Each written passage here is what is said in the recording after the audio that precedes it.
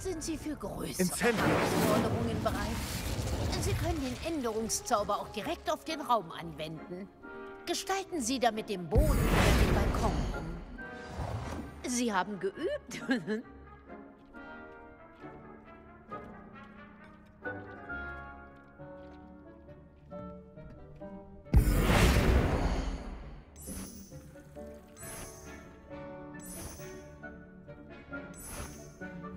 Dieser Raum könnte etwas mehr Ambiente vertragen, finden Sie nicht? Dick, wärst du so nett? Sehr gern, Professor Weasley. Professor Weasley hat die... Professor Weasley sagte, du wüsstest, wie man das Ambiente des Raumes ändert. Gewiss. Welches ähm, Gesamtkonzept spricht Sie denn am meisten an?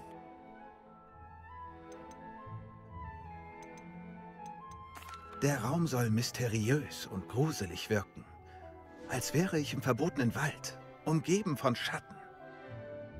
Ha, hervorragend.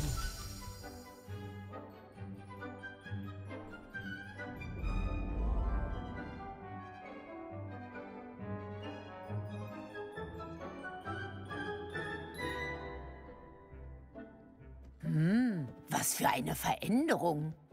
Natürlich müssen Sie diesen Stil nicht beibehalten. Sie können jederzeit Dick bitten, ihn zurückzuverwandeln. Jetzt haben Sie viel über Änderungszauber gelernt. Danke, Professor. Der Raum ist voller Möglichkeiten. Allerdings, egal wie oft ich hier bin, der Raum überrascht mich immer wieder aufs Neue.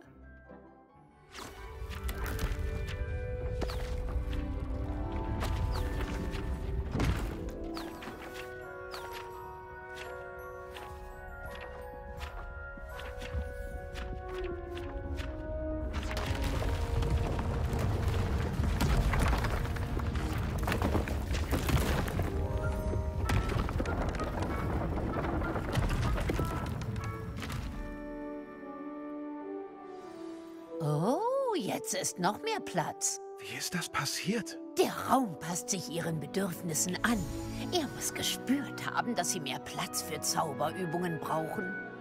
Wenn Sie den Raum noch weiter anpassen wollen, können Sie das mit Zauberanweisungen. Sie finden mehr davon innerhalb und außerhalb der Schule. Danke, Professor. Ich halte die Augen offen. Gut. Der Raum gehört also Ihnen. Nutzen Sie ihn gut.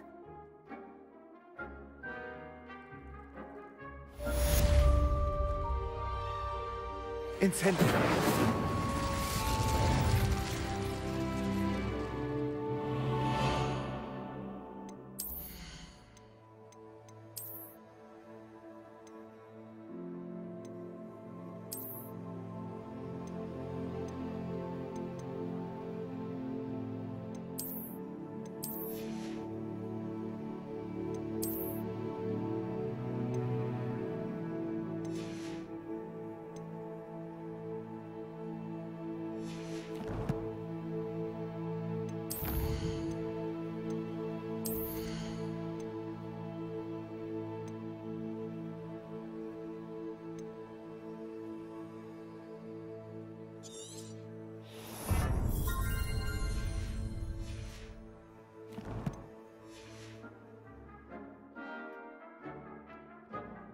Aqui.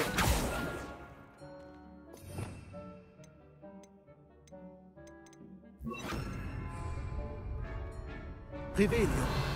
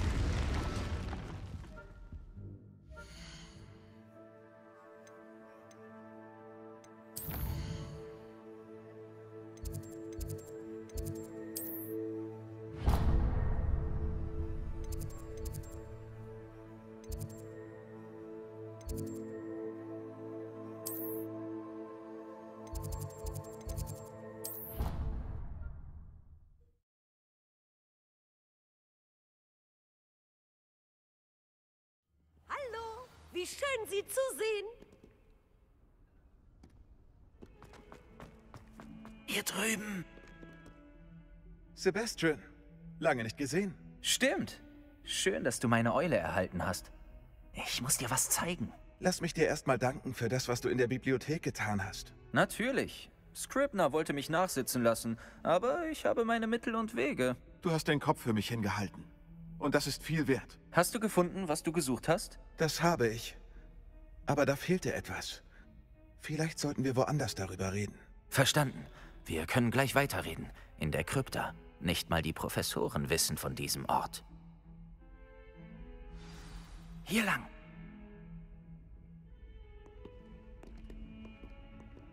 Genau hier gibt es einen Geheimgang. Sehr gut verborgen.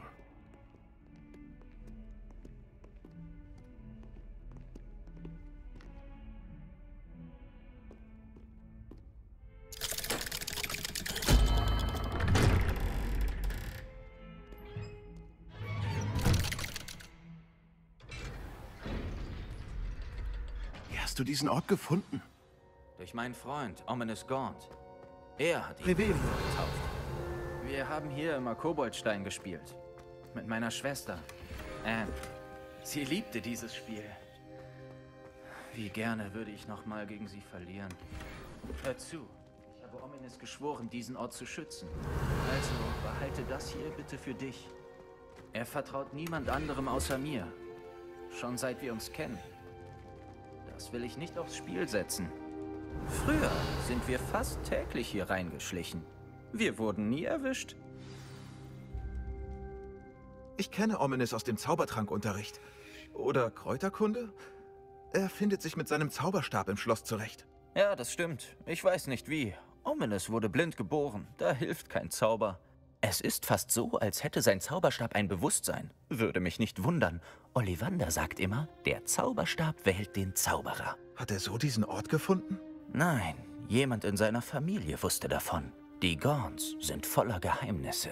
Ich habe noch nie jemand anderen davon sprechen hören und auch noch nie jemand anderen hier gesehen. Erzähl das niemandem. Besonders nicht Ominous. Er hat für seine Familie oder ihre Geheimnisse nichts übrig, aber dieser Ort bedeutet ihm viel. Verstanden. Aber warum hat Ominous für seine Familie nichts übrig? Die Familie seines Vaters stammt direkt von Salazar Slytherin ab, einem der vier Gründer von Hogwarts. Die meisten von ihnen sind besessen vom Blutstatus. Ominous kann sie nicht ausstehen, wie er dir gerne bestätigt. Wie dem auch sei, die Krypta war der perfekte Ort, um sich vor neugierigen Blicken zu verstecken und sogar verbotene Zaubersprüche zu üben. Ach ja? Zum Beispiel? Den Explosionszauber. Die Professoren sagen, der Zauber sei nicht geeignet für Schüler. Eine magische Ausbildung sollte sämtliche Magie umfassen. Genau mein Gedanke. Ein Zauber wie Confringo ist nur in ungeübten Händen wirklich gefährlich. Solche Zauber sollten lieber richtig gelehrt werden. Ehrlich gesagt interessiere ich mich eher für feurige Formen der Magie. Aber du solltest ihn lernen. Ich kann ihn dir hier gefahrenlos beibringen. Es kann dauern, bis man ein Gefühl dafür bekommt. Bewege den Zauberstab wie ich. Die Beschwörung lautet Confringo. Also gut.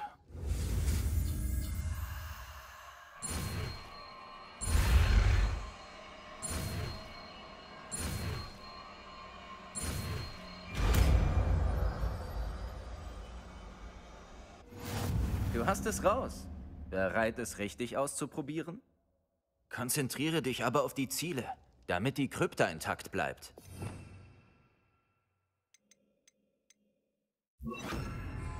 Versuch's mit diesen Armleuchtern. Beide sind nützlich, aber du hast gut gemacht. Wie ist es so? Ein bisschen heiß. Du, gut so.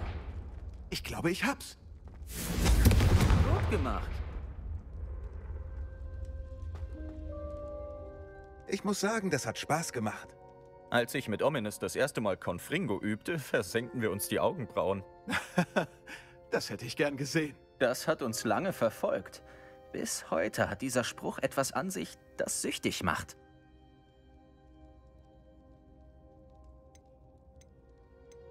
Das ist genau die Art von Magie, die ich lernen wollte. Ich kenne noch viel mehr. Ich übe hier schon seit Ewigkeiten ähnliche Zaubersprüche.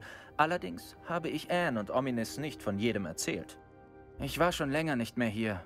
Ohne Anne ist es anders. Das mit deiner Schwester tut mir leid. Wenn ich irgendwas tun kann. Wenn ich wieder nach Feldcroft gehe, könntest du mitkommen und Anne treffen. Sie kann Aufmunterung gebrauchen. Sag mir wann und wir treffen uns. Sie vermisst Hogwarts. Sie sitzt zu Hause bei unserem Vormund Onkel Solomon fest. Leider musst du ihn auch kennenlernen. Einen neuen Schüler zu treffen, ist genau das, was sie braucht. Ich freue mich darauf. Prima. Übrigens, was hast du da vorhin in der Halle nicht sagen können? Wo soll ich da bloß anfangen? Du sagtest, bei deinem Fund in der Bibliothek fehlt etwas? Könnte es etwas mit Victor Rookwood zu tun haben? Er hat dich in Hogsmeade doch nicht wirklich mit jemandem verwechselt, oder? Dir entgeht wirklich nichts. Alles, was ich sagen kann, ist... Rookwood und Ranrock suchen etwas, das ich ihrer Meinung nach aus Gringotts gestohlen habe. Gringotts? Wann warst du dort? Professor Fick und ich sind nach dem Drachenangriff dort gelandet. Da war dieser Portschlüssel und... Ein Portschlüssel? Nach Gringotts? Nun, das ist alles etwas verworren. Ich höre.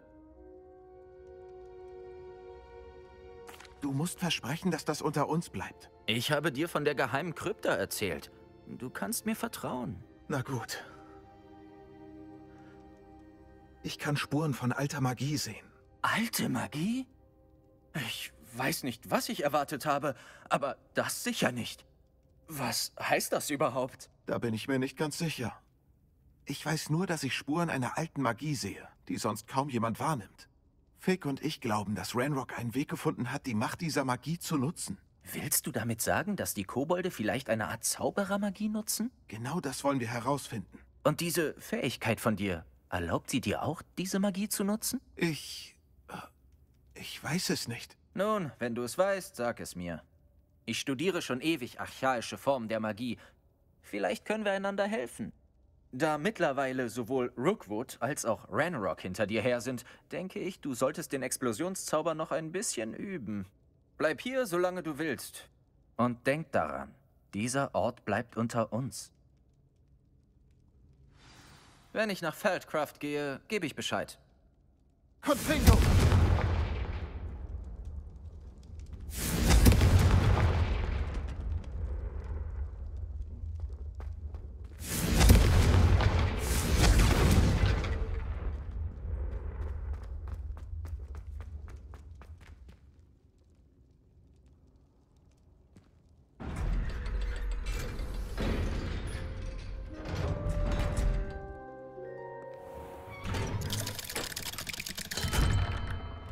Hallo Sebastian. Warte. Du da. Ich kann dich hören. Oh, hallo. Ominous, nicht? Ich glaube, wir haben Zaubertränke zusammen. Und Kräuterkunde? Die Stimme kenne ich. Hab dich in Zaubertränke mit Gareth Weasley reden gehört. Du bist neu in der fünften. Kommst du gerade aus der Krypta? Wie bist du da reingekommen? Der Raum heißt die Krypta? Ich war auf Erkundungstour und fand mich plötzlich in einem seltsamen Gang wieder. Lüg nicht! Niemand stößt zufällig auf diesen Raum. Sebastian hat dir von ihm erzählt, oder? Wenn du irgendjemandem von diesem Ort erzählst, kann dir nicht einmal dein werter Professor Fig helfen. Mein Vater ist mit dem Schulleiter befreundet. Ich habe keine Scheu davor, das auszunutzen, wenn nötig. Glaub mir, Ominous. Ich sage kein Wort. Und Sebastian ist ein guter Freund. Du solltest ihm nicht gleich das Schlimmste unterstellen. Ich muss mir von dir nichts über meinen ältesten Freund sagen lassen. Schönen Dank auch. Ominous, ich meinte nur... Ich weiß, was du meintest. Sebastian handelt sich schon genug Ärger ein. Er braucht deine Hilfe nicht. Dafür wird sich Sebastian etwas anhören dürfen.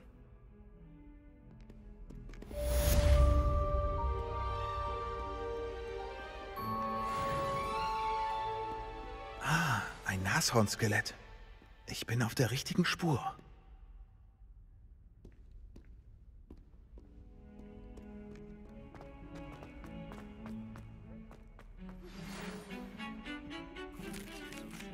Nicht zu mir. Mein Abstecher beim Ministerium war nicht von Erfolg gekrönt. Ich hoffe, Sie hatten in der Zwischenzeit mehr Glück.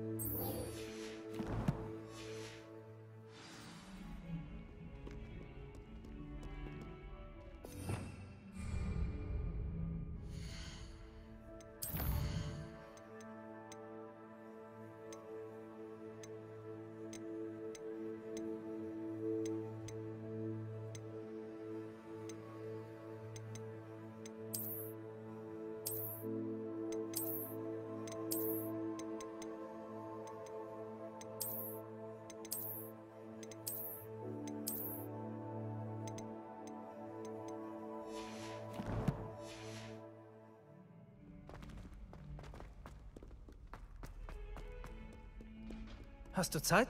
Ich könnte Hilfe brauchen. Du wolltest mit mir sprechen? Stimmt. Hallo, ich bin Duncan Hophaus. Ist mir ein Vergnügen. Ich habe schon von dir gehört. Du hast gegen Trolle und Drachen gekämpft. Kann sein, dass das so wirkt. Ich weiß nicht, ob es stimmt. Es waren oft einfach die Umstände. Dein Ruf eilt dir voraus und ich schätze, er entspricht der Wahrheit. Darum bist du genau die Person, die ich brauche. Naja, in Professor Hackett's Unterricht haben wir gelernt, Irrwichte abzuwehren. Und also, meine hat leider die Form eines Knuddelmuffs angenommen.